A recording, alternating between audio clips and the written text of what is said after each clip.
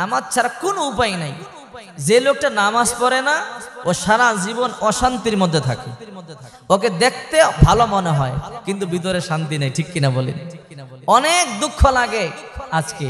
আমরা মুসলমান, কিন্তু আমাদের মুসলমানদের মধ্যে অনেকে অজু পর্যন্ত জানে না, ঠিক কিনা বলে অনেকে অজু জানে না, এই ঠিক কিনা বলে অজুর মধ্যে কয়টা ফরজ আছে?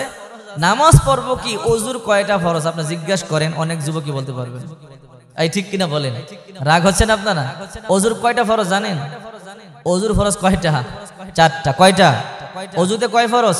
চার ফরজ। আল্লাহ পাক কোরআনে বলেন, ইয়া আইয়ুহাল্লাযীনা আমানু ইদা কুমতুম ইলা সলাতি ফাগসিলু বুজুহাকুম ওয়া আইদিয়াকুম ইলাল মারাফিকি ওয়ামসাহু বিরুসিকুম ওয়া আরজুলাকুম ইলাল কাবাইন। আল্লাহু আকবার বলেন। আল্লাহ পাক বলেন, যখন তোমরা সালাতের জন্য উঠো, তখন তোমরা অজু করো। ফাগসিলু বুজুহাকুম তোমরা তোমাদের চেহারা মুখ দৌত করো। তোমরা তোমাদের তোমাদের দুই হাত পর্যন্ত দৌত করো। তোমাদের মাথা মাসে করো। কাবাইন, দুই পা টাকনু পর্যন্ত ভালোভাবে দৌত করো। বলে। চারটা ফরজ। এক নাম্বার হলো সমস্ত মুখ ধোয়া। ঠিক না দুই হাত ধোয়া। মুখ ধোয়া, মাথা মাসে করা, দুই পা দৌত করা, টাকনু পর্যন্ত। এই চারটা ফরজ আপনি যদি অনেককে জিজ্ঞাসা করেন, অনেকেই জানে না, ঠিক না আচ্ছা বলেন তো, আমরা তো মুসলমান। আমরা তো দাবি করি আমাদের বাবা মুসলমান, আমাদের মা মুসলমান, আমাদের বংশ মুসলমান। আমরা মুসলমান করে জন্ম হয়েছি, কিন্তু অনেক, অনেকে নামাজ তো দূরের কথা ওজুর চারটা ফরজ পর্যন্ত জানে না। অথচ ঢিলা কুলুপ কীভাবে ব্যবহার করতে হয় এটা পর্যন্ত জানে না। রসুল পাক সাল্লাহ আলহিহাল্লাম যাচ্ছেন, দেখে পাশাপাশি দুইটা কবরের মধ্যে আগুন জ্বলতেছে। সাহাবিদেরকে বলে, সাহাবিরা, এই দুইটা কবরে আগুন জ্বলতেছে। সাহাবাই কেরাম বলে, কেন? ও আল্লাহ নবী বলে, ছোট্ট দুইটা ভুলের কারণে। এক নাম্বার ভুল হলো, এই যে কবরটার মধ্যে দেখতেছো, আগুন জ্বলতেছে এই লোকটা ওয়াম শিবির নামিমা, চলতে ফিরতে মানুষের গিবত করত। এরকম মানুষ আসে না নাই? আসে না নাই এরকম মানুষ নাই? চলতে ফিরতে মানুষের গিবত করে, পাঁচ শক্ত দেখবে নামাজ পড়ে, মাথার মধ্যে টুপি আছে, হজও করেছে, সব ঠিক। কিন্তু চা হস্টেলে বসলে যদি ওর মধ্যে কোনো কথা না থাকে, বানিয়ে বানিয়ে গিবত করে, এরকম লোক আসে না নাই? নবীজি বলেন, ওর একটা ভুল ছিল কি? সে গিবত করতো। আরেকটা লাস্তানজুয়ানিল বাউল, পরসাব পায়খানা করে ঠিক মতো ঢিলাকুল ব্যবহার করে নাই। এই জন্য ওই কবরে আজাব আজকে দেখেন অনেক মানুষ আছে প্রসাব করে, ঢিলা ব্যবহার করে না, পানি ব্যবহার করে উঠে যায়, এরকম আছে না নাই? আচ্ছা আপনি প্রসাব করে পানি ব্যবহার করলেন। পানি ব্যবহার করে আপনি যদি একটু চলেন, যদি দুই এক ফোঁটা জড়ে আপনি কি নাপাক হয়ে যাবেন না? তো আপনার অজু হবে? নামাজ হবে?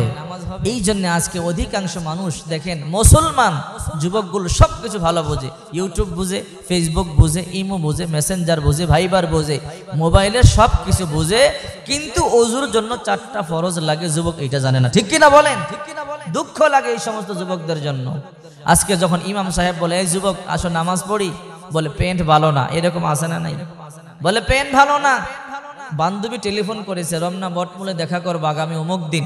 নীল শাড়ি আমার জন্য নিয়ে আসবা, তোমার জন্য নীল শার্ট কিনে নিয়ে আসবা। পকেটে টাকা নাই, মায়ের আসল কাটে বাবার পকেট কেটে চুরি করে টাকা নিয়ে বান্ধবীর জন্য, নষ্টামি করবার জন্য নীল শাড়ি, নীল শার্ট কিনে রবনা ভট মলে যায়। কিন্তু যে রব্বুল আলমিন তোমাকে সৃষ্টি করেছে, ওই আল্লাহর ঘরে সাজদা দেওয়ার জন্য তোমার কাপড় হয় না? বললে বলো, নাপাক হয়ে গেছে কাপড়। আসলে তোমার কপাল ভালো না, ঠিক কিনা বলে? ঠিক এই জন্য আমাদেরকে নামাজ পড়তে হবে। যে অবস্থায় থাকেন, যেখানেই থাকেন, নামাজকে কাজা করা যাবে না, ঠিক কিনা বলে? আল্লাহ নামাজকে এতটাই পছন্দ করেছেন, নামাজকে এতটাই আল্লাহ পাক কবুল করেছেন। আপনি হিন্দুদের কোম্পানিতে চাকরি করেন, খ্রিস্টানদের কোম্পানিতে চাকরি করেন, আপনি যেখানেই চাকরি করেন, নামাজের জন্য সময় দেওয়া হয়, ঠিক কিনা বলেন এই জন্য নামাজ পড়বেন, অজুগুলো সঠিকভাবে আদায় করবেন, অজুর চারটা ফরজ আছে। দুই হাত ভালো করে খনি পর্যন্ত দৌত করবেন, মুখ সুন্দর করে দৌত করবেন, মাথা মাসে করবেন, দুই পা টাকনু পর্যন্ত ভালো করে দৌত করতে হবে, একটা পশম পরিমাণ জায়গা ফাঁকা থাকাতা যাবে না। অথচ এই অজুর ফরজগুলো পর্যন্ত অনেকে জানি না। আমাদের জানতে হবে, এরপরে জেনে আমাদেরকে মানতে হবে। এগুলো ছোট্ট হতে পারে, কিন্তু বড় এগুলো ঠিক কিনা বলেন? এগুলো ফরজ, এগুলো না জানলে আপনার অজু হবে না, আর নামাজ হবে না। ডিলাকুলুপ ভালো করে ব্যবহার করতে হবে। ডিলা কুলুপের মধ্যে গাফলতি করা যাবে না। অনেকেই আছে ডিলা ব্যবহারই করে না। টয়লেট করে ডাইরেক্টলি পানি ব্যবহার করে। আপনি টয়লেট করলেন, পানি ব্যবহার করলেন, হাতের মধ্যে ময়লা লেগে যায়। তৈলাক্ত ঠিক কিনা? এরপরে আপনি এই হাত দিয়ে খাবার খাচ্ছেন, এই হাত দিয়ে কাজ করতেছেন আপনার খাদ্যের সাথে আবার নাপাকি আপনার দেহবন্ধে প্রবেশ করতেছে, আপনি টের পাচ্ছেন না। এই অবস্থায় আপনি ইবাদত করে ইবাদত কবুল হবে না, ঠিক কিনা বলেন? এই জন্য পবিত্রতা অর্জন করতে হবে। আল্লাহ পাক আমাদেরকে সঠিক বুঝ দান করেন। আমি একটা কথাই আপনাদেরকে বলব, যেখানেই থাকেন, যে অবস্থাতেই থাকেন, নামাজ তরক করবেন না, পারবেন তো ইনশাআল্লাহ। আল্লাহর হুকুম পরিপূর্ণ আদায় করবেন। নবীজির সন্না মোতাবেক জীবনযাপন পরিচালনা করবেন। আর আমরা কখনই আব্বা আম্মাকে কষ্ট দিব না। রাজি আছে তো ইনশাআল্লাহ? পিতা মাতাকে কষ্ট দিয়ে জান্নাতে যাওয়া যাবে না। যারা এই কষ্ট দিয়েছেন, মানুষ ভুল করতেই পারে। আব্বা আম্মার কাছে ক্ষমা চাবেন। পিতা মাতা এমন এক মানুষ এমন এক জিনিস যদি বিশ বছর অন্যায় করেন, যদি কান্না করে আজকে ক্ষমা চান, সব ভুলে গিয়ে সন্তানকে বুকে টেনে নেবে, ঠিক কিনা বলে আপনি যত বড় হয়ে যান, চল্লিশ বছর হয়েছে, পঞ্চাশ বছর হয়েছে, আপনি অফিসার হয়ে গেছেন, আপনি অনেক বড় হয়ে গেছেন, না, পিতা মাতার কাছে সেই ছোট্ট খোকা, ঠিক কিনা বলেন? এই জন্য ওয়াজ এত বেশি শুনতে হয় না। ফজরের নামাজ তো পড়তে হবে, ঠিক কিনা বলেন? সারা রাত ওয়াজ শুনবেন ফজরের নামাজ পড়বেন না জাহান নামে যাওয়া লাগবে। এই জন্য আমাদের টার্গেট আল্লাহ ছাড়া আর কারও গোলামি করব না, ঠিক কিনা? দুই নম্বরে আমরা নবীদের সন্না মোতাবেক জীবনযাপন পরিচালনা করব আর আমাদের আব্বা আম্মাকে সন্তুষ্ট করে আমরা যেন মরতে পারি, আল্লাহ পাক আমাদেরকে তৌফিক দান করেন। ও আখরি দাওয়ানা আনিল হামদুলিল্লাহ রব্বিল আলামিন।